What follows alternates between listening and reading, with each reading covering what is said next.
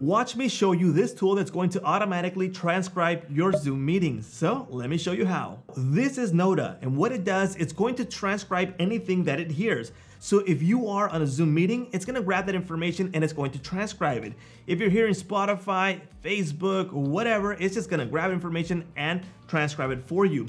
Now, there's a limited time deal going on right now that you might not want to miss out on it. That link will be provided in the description. It's $69 for the lifetime deal, so that means that you pay once and use it forever. Now, the $69 deal gets you 5 hours of transcription a month.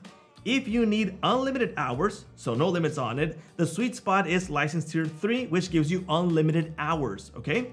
Now, let me show you how this baby actually works. So I have my Zoom available right here, and I'll start the meeting right now. But first, I'm going to start Noota. Now there's two options to start Noota. One is directly from the browser or two, installing the browser extension. So this is the browser extension. In this case, I'm going to start the browser extension for this. You can select the language. There's several languages available here. In this case, I'm speaking English from United States and I have the option to record the screen or all audio only. In this case, I'm going to do audio only and the microphone is from this MacBook, okay?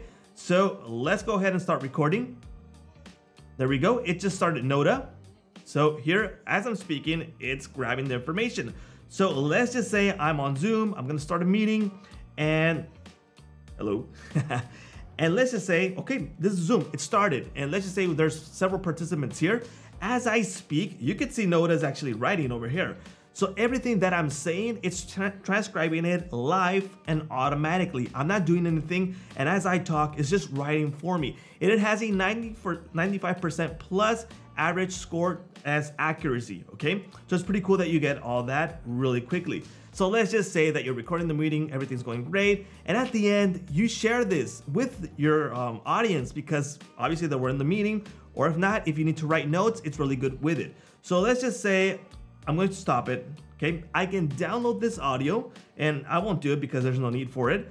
But as I'm doing it, it's sending this information to Noota. I'm gonna finish my Zoom meeting. There we go.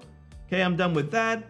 And I'm gonna open up my transcribe, okay? So this is the transcribe from this meeting that you just heard on Zoom, for example, and it's written right here automatically. Now I can do some tags and editing with this, and I'll do that in a bit, but first I wanna show you the share feature. So if I click on share, I can go ahead and copy this link and I can go make it public, okay?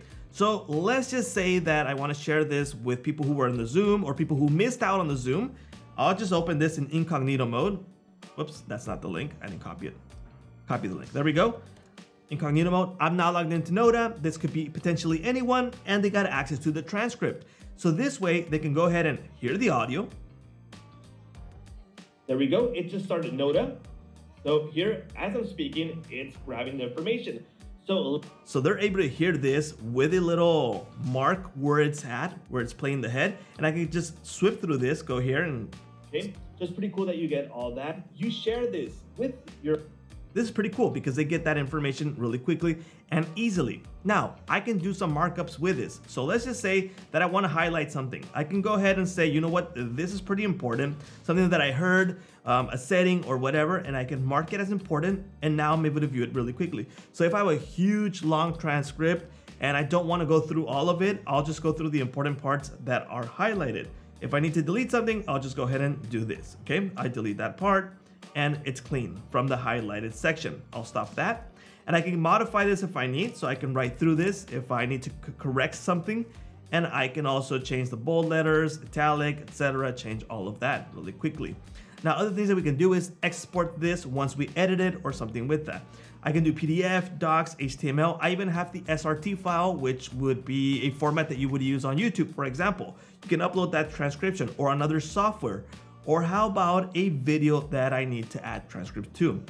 So that's one of the ways that you can record everything that it hears and transcribe it. What's another thing that you can do? You can upload a video to this, upload a file, upload an audio, whatever, and you can use it. In this case, I did a test where I uploaded a YouTube video. If I click on it, it's going to grab the subtitles from that video. So it automatically subtitled all of this. I can go ahead and correct something if I need to. Um, things that you would need to correct, for example, if I'm speaking about a brand, well, it might interpret the words. So I can edit this. Now, one of the cool things about this is again, I can export this and upload it to YouTube if I need to add this, the subtitles or if I need to render this video with the subtitles. Let me show you. Right now, this is my Browse AI dashboard and this is where we're going to get started. So we have two options. You see those subtitles that I can go ahead and edit? I got all this, all this to edit this, the color, the font style and all of that. I can export this if I need. So it's really cool that we have that or the subtitles. We can go ahead and save this video, download the audio, my subtitled video. So if I go ahead and do that, confirm, I can grab that later on once it's ready. This is something I really like because it's super easy to use. Anything that it hears, it's going to transcribe it. So if you're on Zoom, if you want to grab a song from Spotify, if you want to transcribe a video, etc., it's super easy with this. It just hears it and it transcribes it for you. So it's super useful. I mean, especially for the Zoom meetings where you finish the meeting and you send out this transcription, it's going to look really professional on your end when you send this to your clients or, or people who attended the Zoom or people who didn't attend the Zoom. But there you go. If you guys want to grab it, that link will be provided in the description. I'll see you later.